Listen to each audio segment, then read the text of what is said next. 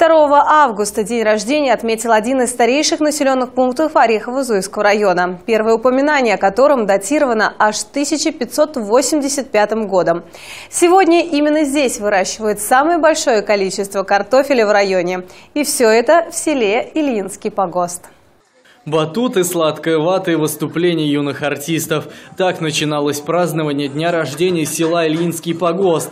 В этом году ему исполнилось 432 года.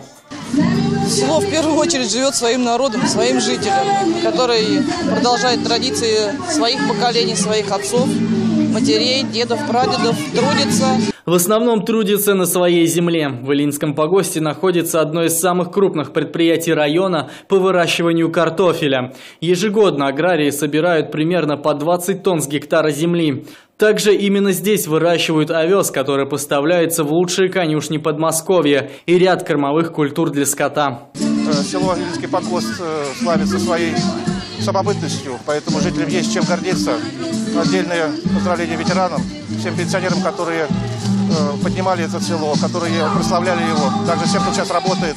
И эстафетную палочку, я верю, что примут э, молодые поколения жителей и будут также его прославлять. И, конечно же, сегодня у нас э, задача всей нашей России, задача сегодня губернатора вернуть ту былую мощь, которая была ранее в России, возродить те сельскохозяйственные традиции, которые тоже были – и сейчас, естественно, этому уделяется очень большое внимание. Жители Ильинского поселения в этот день отметили сразу две даты – день рождения села и престольный православный праздник святого пророка Илии. Поздравить именинников приехали глава Орехово-Зуевского района, а также депутаты Государственной и областной дум. И мне очень хочется от души поздравить всех с таким замечательным днем, с праздником.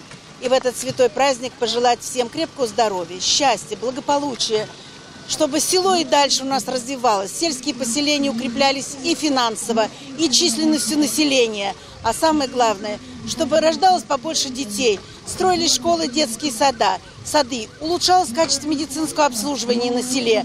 Ну и мы верим, что те законы, которые мы приняли, чтобы земли сельскохозяйственные все использовались. Праздничный концерт по случаю дня рождения села был подготовлен работниками Ильинского дома культуры и продолжался до самого вечера.